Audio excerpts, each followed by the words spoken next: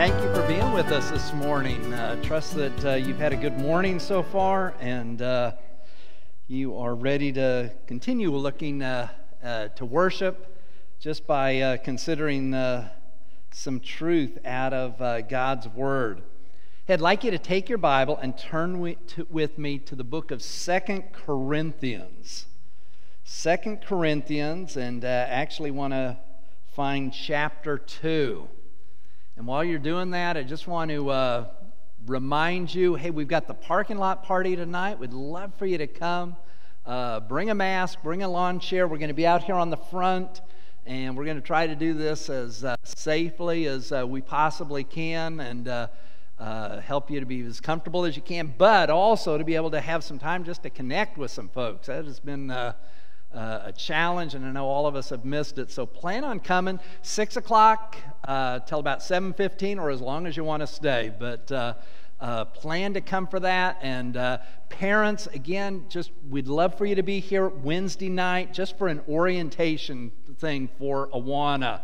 Uh, please leave the kids at home, at least for this night, because there's just a ton of things that we want to brief you on to make sure you're cool with it and understand exactly how we're going to be trying to do Awana so that we can do it safely and securely and uh, uh, all of that. And then finally, you know, the, the, actually the most important announcement of all. On the front row, we have our guest of honor, not our guest of honor, but our member of honor. Today is Vicky's mother, Alexandra's 91st birthday. So, and guess what? She's celebrate she's celebrating by coming to church. She said six months is enough, and I'm going to wear my mask, but I'm coming. So uh, God bless. Uh, hey, um, you know, okay, the last five six months they've been different, weird, and. Uh, you know, eventually things will get back to normal, but I want you to think about what the normal was before. You know, over the last six months, we're used to plans falling through. We're used to, oh, we're going to do this, and then at the last minute, something has to change. And seems like pretty much everyone will cut each other slack. You know, I mean, oh, that came up, that came up. Because, you know, it's almost like you can't plan anything. You can hardly even plan a lunch with someone, you know, without, you know, something maybe happening. But, you know, March and before, you know, it kind of irritated us when someone would change the plans, didn't it? Uh, someone would say, okay, let's do this.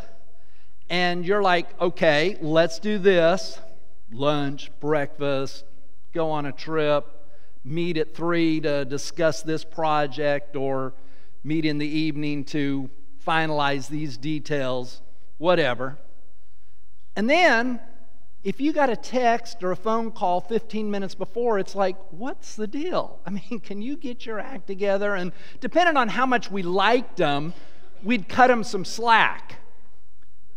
But you know, then when it happens, it's like, okay, I can't meet tonight. Uh, let's meet tomorrow night. And so you say, yeah, okay, cool. I understand. Things come up. And then when something came up the next night, it's like, will this person get their act together? You know, after a while, you just kind of get a little tired of it. Now, if you're the one making the changes, it's all understandable. I mean, when I text someone and say, hey, I know we planned on doing lunch, but, you know, something deep spiritual that came up and I've got to go minister, they always understand, or at least they always should. You know, if they're, if they're carnal, they don't, but you know what I'm talking about. Now, when I'm making the changes, when you're making the changes, it's perfectly understandable. But when someone else is making it, we get irritated. You know, we'll cut them a little bit of slack, or we'll chalk it up to their personality. But when that happens over and over and over, and particularly if we've kind of developed a little bit of a critical spirit about that person, you know what I'm talking about? After a while, instead of seeing them as a half full individual, we see them as a half empty individual it then goes, can go toxic really quickly. Now, I bring all that up because, in a way, that's kind of the attitudes that we're going to explore. That's a, that, those are the circumstances. And what I want us to do this morning for a little bit of time to, is to discuss and think about the attitudes associated with that kind of circumstance. Because here, here's what happened, okay? The Apostle Paul, uh, if you know your Bible at all, you know that he had a pretty strained relationship with the people that lived in Corinth. Corinth was a city in Greece, and Paul had gone there, led many people to Christ, helped them form into a church, and, uh, you know, things went well, but they kind of turned after a while, and for some reason, it just was always strained. And Paul actually wrote them four letters. We only have two of them, but Paul wrote them four letters, and the two we have are pretty strained. I mean, he, he's dealing with them on, you know, kind of ironing out real difficult situations. And, uh, you know, it was that kind of a situation. Well, well, here was the situation that was going on that I want us to think about. And, and I'm going to get a little technical, a little historical, but, but stay with it. I'm going to try to make it as simple as possible because I think that it's really important for you to understand this historical background. So, Paul, as you know, was traveling around and he got to the point where he was in Ephesus and going to go to Corinth. Now, there on the map, you can see that's the Mediterranean Sea, and that box that I've uh, highlighted there, we're going to zoom in on it a little closer. There's Ephesus, there to your right, and there's Corinth to the, your left. And the plan was Paul was in Ephesus, and things were going really well.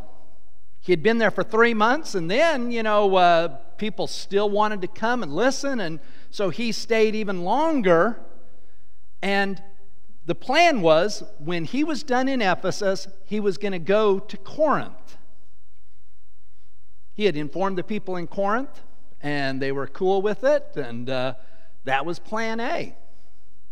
But the longer Paul stayed in Ephesus and the more he heard information about what was going on in Corinth, it's like as he prayed about it, as he thought about it, you know, he had prayed and thought about plan A, but the more he prayed and thought about plan A, it's like God made it really clear to him that no, hey, you know what? Let's change the plan.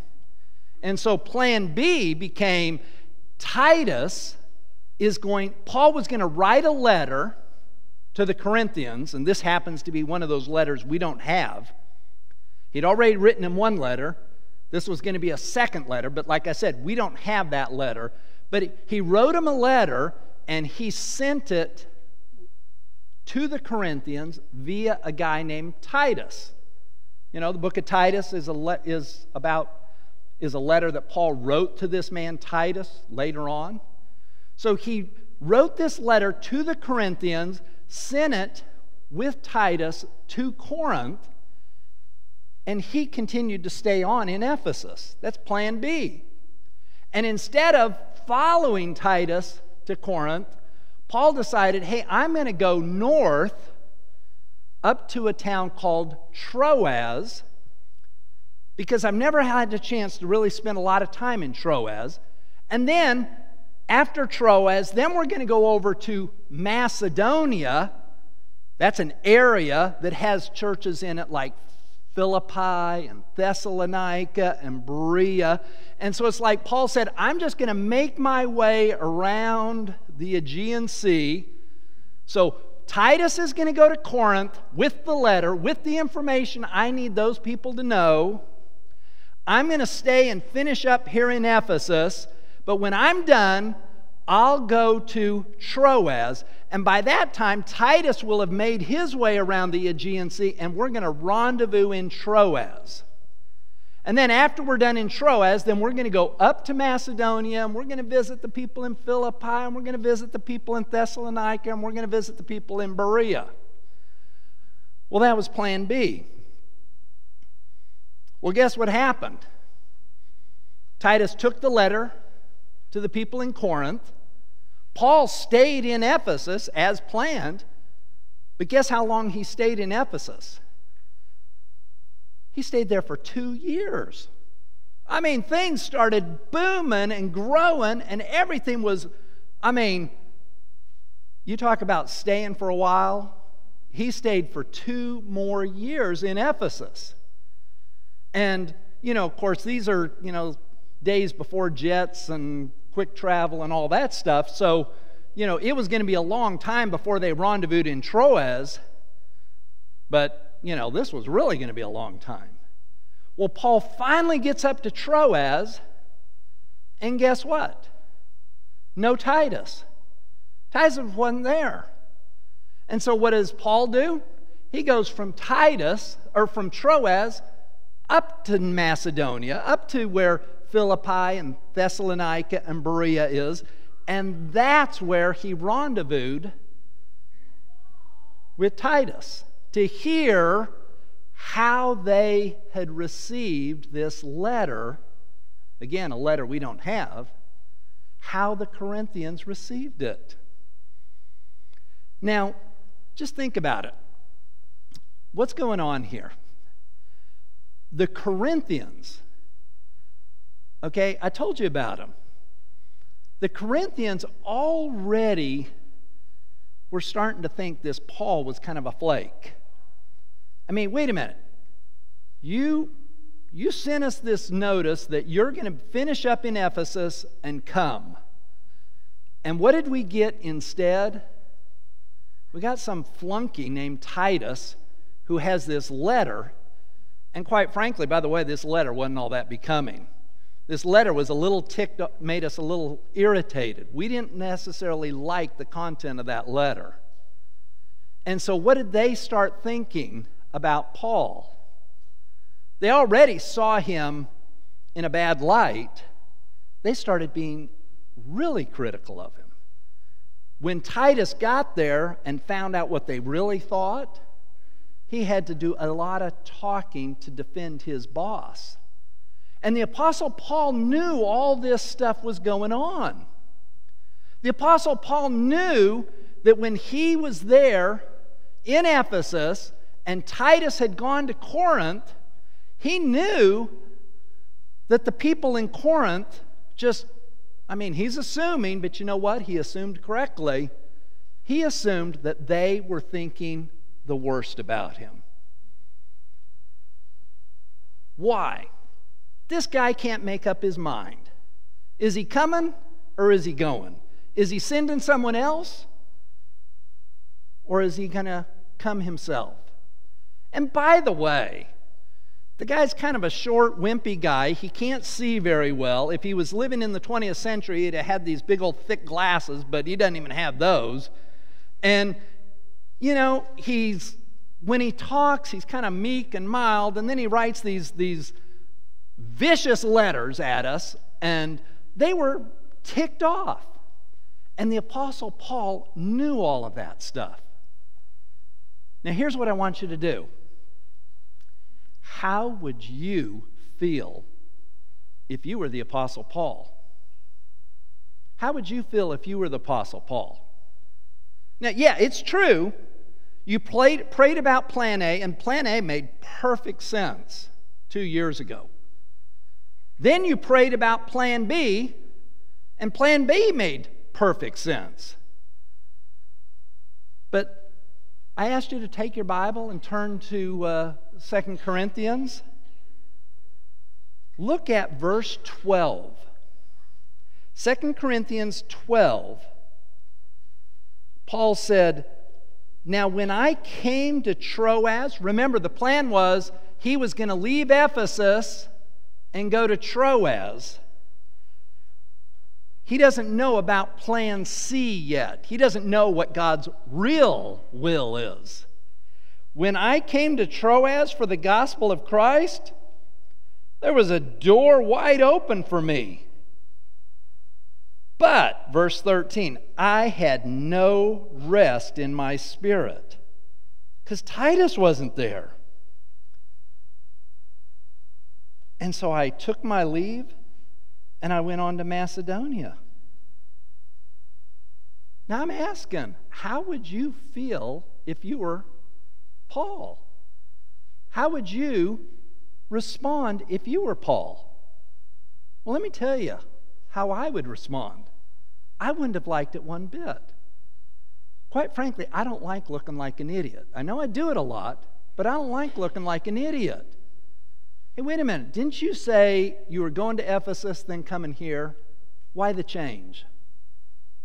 What, why are you writing us a letter? You don't have the guts to come over here and preach the sermons yourself? I mean, anyone can write an email and tell somebody off. Can you just come and say it to my face? Or now, anyone can text someone, but you can't call me up on the phone. You can't meet with me in person and say it. I mean, I don't like looking bad. And in the Corinthians' eyes, Paul looked bad. And then Paul gets to Troas, and everything's going great. But there's no Titus there. And did you see it? Verse 13 I had no rest in my spirit. He, he was just so totally unsettled that Titus wasn't there. It's like, what went wrong? Is Titus still in Corinth? Or, I mean, is that place just falling apart and Titus is having to stay there? What's the deal? And, and finally, as he prayed and asked God, God's like, no, keep moving on. Go, you know, Titus isn't here, so go on to visit the people in Philippi and Thessalonica and Berea and all the other towns in Macedonia. And then Paul's thinking, man, when the Corinthians find out about this, they're going to really think ill of me. How would you feel? I mean, like I said at the beginning, I don't mind changing the plans on people until I realize, boy, this really makes me look stupid. And what really is bad is I'm sitting there and it's like I've got it all planned out. I've prayed and it's like, God, here's what we're going to do. And then I get really close to it and it's almost like God opens up the, my eyes a little wider and I'm just like, oh no. So then I change it and it's kind of like people are like, well, I thought we were doing this. And it's like, yeah, but you know, the more I think about it, the more I pray about it, I think we should do this. And they're like, oh, okay. And then as we get closer to this, I say, oh, wait a minute. No, I think we're going to actually do this. Well, I thought you thought and prayed about that. Yeah, I did. But now I've thought and prayed about it some more, and now we're doing this. But I thought you thought and prayed about it this. And all of a sudden, you just look like a flake. Now, am I the only one that can relate to this? This happens to me all the time. And, and, and, and sometimes I get really irritated at God because I'm like, God, the Bible says you know the end from the beginning. And I mean, if you knew this, why didn't you tell me six months ago this is how Awana is supposed to work? If you know the end from the beginning, why didn't you tell me six months ago this is how you're going to have to do Sunday morning children's ministry, or this is how you're going to have to do home groups, or this is how you're going to do community groups, or this is how you're going to do X, Y, or Z? Why does God sometimes shove us out there and it's like we almost seem like we can't even see five feet in front of us? And, and in the back of our heads, we're, we're, we're certain we're doing what God wants us to do, but our spouse is saying, What gives? Can you just, just tell me what to do? Are we buying this or are we not buying this?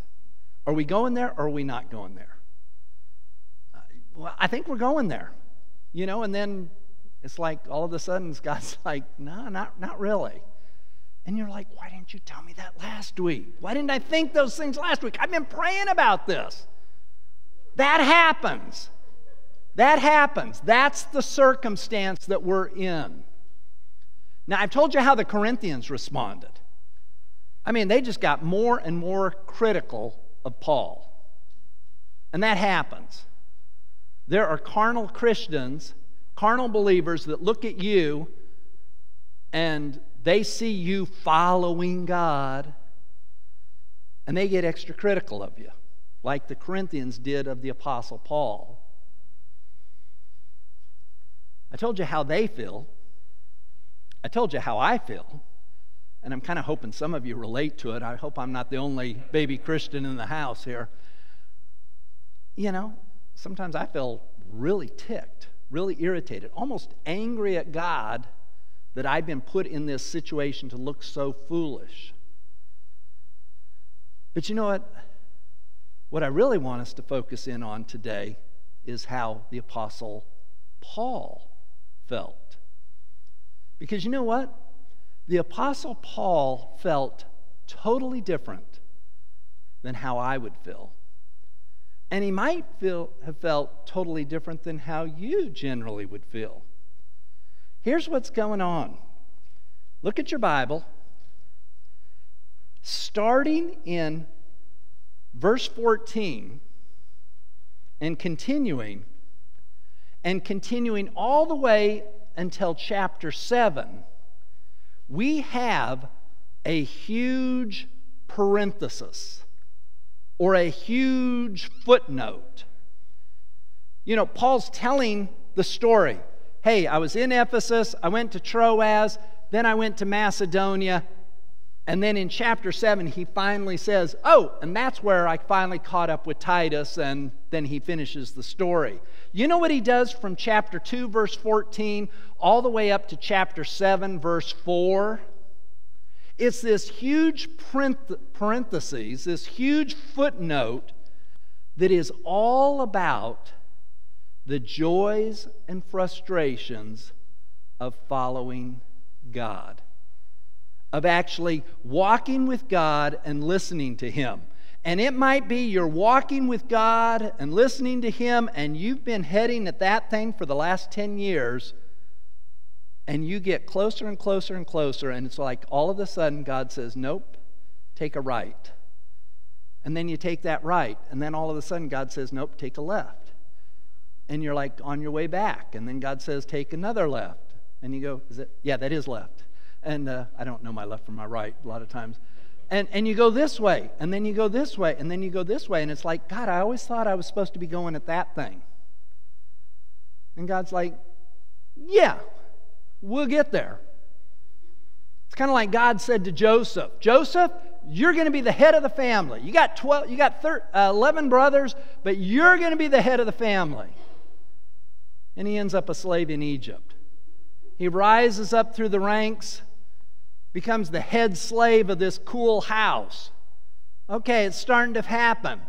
Ends up in jail, stays in jail, meets some high officials in jail the butler, the baker. Man, those are my tickets. I'm going to be the original networker, you know? It's just a matter of time. He connects with them, schmoozes with them, they forget him. One of them even dies. I thought I was heading there. You've got me taking a left and a right and another left and then a U turn. All about the joys and frustrations of following God, of actually getting involved and saying, you know what, God? I am here to do your will. I may be a salesman, but I'm a Christian salesman. I am a salesman for God's glory. I may be a lawyer, but I am a Christian lawyer. I am a lawyer for God's glory. I may be a school teacher, but I'm a I'm a Christian school teacher. I am a school teacher that is here for God's glory. I you know that is my calling. That is my my thing and and and God, I want you to run the show. Yeah, I'm thinking, you know, graduate from this go for that, try to get this promotion, try to get this thing. But you know what, God? You are driving the ship, you're steering the car. And the Apostle Paul, for the next four chapters, talks about the joys and frustrations of following God. Because you know the way we look at it? In our mind, God should be a God of efficiency, and the shortest distance between two points is a straight line. And quite frankly, God never, never goes in a straight line. Why? Because He's got something bigger. He's got something more profound. He's got something that we'll probably never fully understand until we get to heaven. Now, quite frankly, this has got to be like the world's longest introduction to a sermon. But I'm trying to make the point because I'm not just introducing a sermon, I'm introducing the whole series. What we're going to do for the next eight weeks, we're going to take the time to basically look at this long parentheses, this long footnote where the Apostle Paul says, I know what was going on in the Corinthians' eyes. They were just highly critical of me. Wrong, but highly critical of me. And I'll deal with that later. And I know what you would have thought. You'd have been irritated, bitter. Nobody likes to feel like an idiot. Nobody likes to look like a flake. Nobody likes to look like a fool. Nobody likes to look wishy washy. Let me just tell you what I felt let me just tell you what I felt that God gave to me. That's what we're going to look at for the next eight weeks. And it starts in chapter 2, verse 14, and it goes till chapter 7, verse 3. So today, just for the last couple minutes that I've got before we take communion together, I want you to look at verses 14 down to verse 17. Look at what Paul says. He just kind of breaks off. Again, this is this, if you didn't understand all that context that I just went through, you'd read through this and it's like it wouldn't make much sense. But when you understand that, that, that Paul's basically time out. You think I felt like a flake? You think I looked like an idiot? You think that all of a sudden I was demoralized because all of a sudden I looked foolish? Not at all, Paul says. Look at verse 14. But thanks be to God who always leads us in his triumph in Christ. Rather than feeling like a dummy, rather than feeling like a flake, Paul said, Thank you, God. Thank you. I mean, and, and go back up and look at verse 12. I didn't even really bring this out about Troas. I mean, in Troas, the numbers were there. He was getting converts, things were happening. It was a success. He planted a church and it's booming. And you're saying, you're still going to the mission field? What are you? You're walking away from a promotion. You're walking away from big money. You're leaving big money on the table, Paul. And Paul said, I don't care. God's leading me to go on to Macedonia. He's got my spirit so stirred up, I can't stay here. And he walked away from a open door. It wasn't a mistake. It didn't make sense, humanly speaking. We're always into bigger is better. More is better. But Paul said, I don't care what the statistics say. I'm going where God leads me. Thanks be to God who always, if you underline things in your Bible, you ought to write, underline the word always. And let me show you another word you ought to make note of. See that word triumph? It's kind of unfortunate. It doesn't come through in hardly any of our English triumph, uh, in any of our English translations. What Paul, the word Paul used there, about the best parallel to today is New York ticker tape parade. Now, I know we don't hardly ever do those anymore. They may do them up there, you know, for a basketball team or a football team, but they'd never do it for, you know, the president. Well, they'd never do it for the president, but, uh, but they might do it for the next president. Who knows? But, but, you know, just security, they don't hardly do those things anymore. But, you know, after World War II and after great victories, I mean, huge parades. Well, they would do those in Rome. And they weren't an every other month thing. They weren't even an every year thing. It, it, might be a decade in between these things. But there were these things called Roman triumphants. And, and these were like these huge, huge parades that would have been planned for, for months. And they were to honor a general who had come back from a glorious victory where Rome's empire had been expanded and where the enemy had been just decimated. And uh, the soldiers under his, his guard had, uh, had really done well. And so they'd put together these huge parades, and, and the Senate, the Roman Senate, would kind of lead them. So you'd have all the senators walking through the crowds, and then, and then it'd follow by artifacts of uh, the conquered place. When Titus, not this Titus, but another Titus, conquered Jerusalem, and they had a Roman triumvirate for him to honor his great accomplishment of conquering Jerusalem. They carried through the table of showbread. They carried through the, the big candlestick that he had stolen out of the temple and all these things. I mean, that's what they would do. And then they, they'd, they'd, they'd have some token POWs from the thing, some people that didn't die in battle, but they were soon to die. We're going to get them over there and let some lions eat them. And they'd have them go. And then finally, towards the very end, the Roman general you know, at the end of a parade, it's always the, bat, the last one is the big guy. So there's the Roman general, and then behind him are his soldiers who actually made it happen. That's the imagery that Paul has here.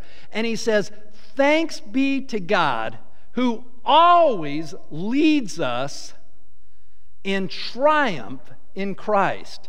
So it's like Jesus, Christ, is the Roman general, and we, the Apostle Paul, and us, we're the soldiers walking behind. And Paul says, You might look at me and say, I'm defeated. You may look at me and say, Boy, that was kind of idiotic. You may look at me and say, Boy, this guy cannot make a plan and stick with it. His yes is no, and his no is yes. And Paul says, uh uh-uh, uh, it's not that way at all. Thanks be to God who always leads us in his triumph in Christ and manifests through us the sweet aroma of the knowledge of God in every place. You know, as part of that triumphant, one of the things they'd do is they'd have the Roman priests going along with censers that were burning. And so the parade route just, just smelled with this, this beautiful fragrance of victory. And Paul says, That's what I am. And when you're following God, that's what you are. Look at verse 15. For we are a fragrance. So it's like he changes the analogy. Initially, we're the soldiers behind the general. Now we're, the, we're also the priest we're actually the fragrance that the priests are spreading.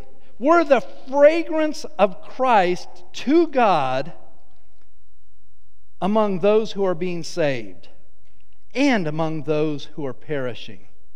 I mean, you are a smell good of God. That's what you are. That's what Paul was.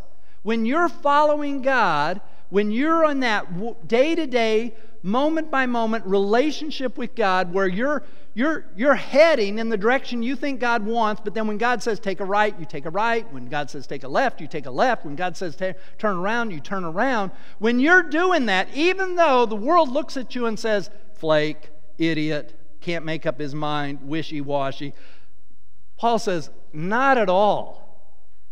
You got a problem with it? Talk with my general. You'll meet him someday. Hope you're on his side, by the way. He says, quite the contrary. I'm following the general in victory. And quite, quite the contrary. I'm actually that smell good that is going through the streets of Rome. And you know, those who are being saved, we smell great.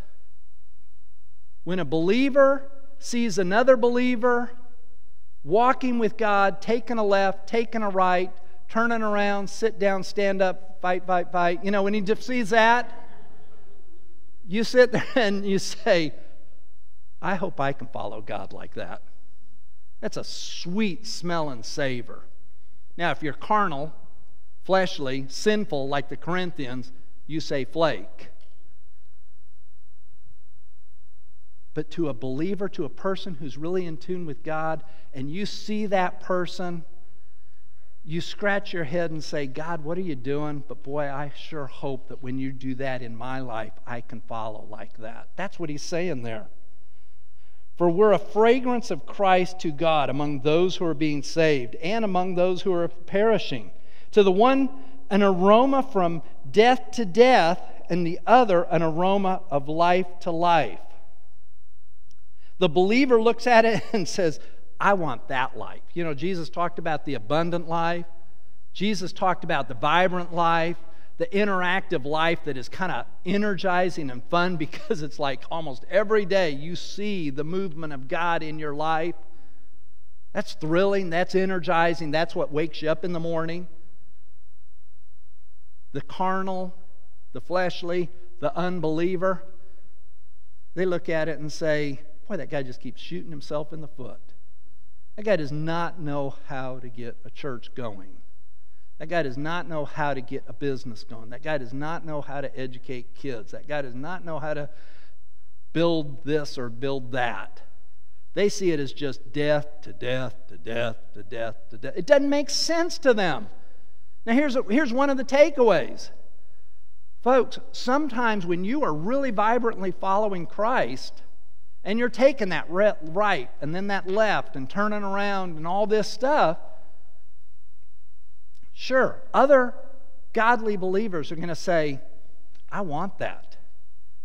Unbelievers and carnal believers, like the Corinthians, they're going to say, You're nuts. And, and you have to sit and know this passage really well. Because there's way too many people who are out there and we start listening to the wrong spectators. The spectators along the parade route, the believers are saying, Go. I can't wait till it's my turn to be in the parade following my general. And the critics are out there thinking you're nuts. And when you start wanting their praise, it's just a matter of time before you step out of the parade. Thanks be to God who always leads us in triumph. And look at the end of verse 16. We'll actually talk about this next week. Man, this is a hard situation. Who's adequate for these things? The answer is no one, but still coming next week and hear what the real explanation is. But that's the sermon. For we are not like many who are just selling the Word of God. But as from sincerity, but as from God, we speak in Christ and in the sight of God. Man, I'm all in. I'm doing this God's way. God says right, left, forward, backward. I'm doing it. That's what Paul said. The world might look at you and say, foolish. And Paul says, uh uh-uh. uh, i am following my general. I am a sweet fragrance of the incredible victory that Christ purchased. You know what this passage has basically been saying? And I'm going to use a word here that is uh, kind of in vogue these days. When we're following Christ, because of the victory he won, we're essential. We're, we are vital to his cause.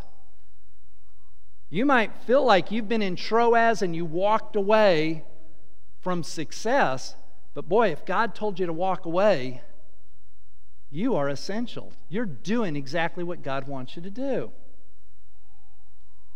I mean, you might be sitting and saying, I'm not doing much. All I'm doing is. And God says, You're doing exactly what I called you to do. I called you to stand there in that corner. I'll let you know when it's time to move. I'll let you know when it's time to turn around. You're essential. Paul's saying, when I'm following Christ, when you're following Christ, Forget about what the world thinks, forget about what carnal Christians think. You are essential. You are essential. You're the fragrance of Christ. You're the smell good of Christ. Now, quite frankly, when you look at this and what this truth is that Paul was bringing out just in these couple verses, there's a, there's a really important question. Did you see that, that first line that I wrote there? When you're following Christ.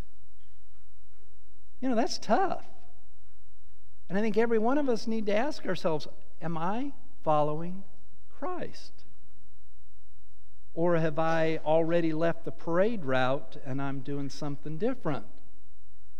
Just because you're part of the family doesn't mean you're always going in the direction that the family's called to go. You know, I find that this, this question, and, and I'm just going to briefly answer it here in a minute, but these chapters that we're going to be considering, it tells us an awful lot about the answer to this question. The question is basically this you know, how do I know I'm doing God's will? How did Paul know he was supposed to stay in Ephesus for another two years? How did Titus know that he was supposed to stay in Corinth, evidently longer than he and Paul had originally planned? How did Paul know that he went to Troas and with Titus not there, he was going to go to Macedonia and there meet up with Titus. How do you know? Job A or job B? Person A or person B? How do you know? Yeah, I'll they asked me to work in Awana, I'll work in Awana. Well, that answer is always yes. That okay? How do how do you but how do you know? I mean, okay, do we buy this house? Do we not buy this house? Do we take this job or do we not take this job? Do I, do I let my kids get involved in this thing or do I let my kids get involved in this other thing or do I just say no to everything? I mean, if, the more you think about it, it is hard to discern the will of God. But actually, you know what? This is going to sound really simplistic, but it's not. It's not simplistic, but it is simple. And like I said, we'll talk about this a lot more as over the couple next couple weeks. But you know what I have found? Discerning God's will basically boils down to three things, three filters God's Word, God's people, and God's peace. I mean, honestly, what is God saying about, in His Word, about your specific situation? What is he saying about your attitude in this specific situation? Because you can sit and say, well, God doesn't say whether I go with Adobe or IBM or Amazon or someone else. God doesn't say Arkansas, Texas, A&M, Texarkana College. God doesn't give those specifics, but you know, he does say a lot in his word about our attitudes and our motives and our whatever some things that we ask that question about, they are just black and white, but we like to stay intentionally agnostic. Maybe when it comes to our marriage, maybe when it comes to a potential marriage, maybe when it comes to divorce, maybe when it comes to, you know, some kind of a financial deal. Scripture is actually pretty clear on a lot of those things. But a lot of times we just intentionally like to stay stupid, thinking we'll get by. Uh uh-uh. uh I mean, when you have a decision, you need to go to the Word of God and say, what does it say about this thing? What does it say about my attitudes, my motivations? The first one is God's Word. Second one is God's people. And I'm not just talking about anyone that's saved, I'm talking about godly people. I'm sure that if Paul went and talked to the Corinthians, who were Christians, but totally carnal, they would have said, You get your hiney over here to Corinth and take care of our needs. I don't care what's going on in Ephesus.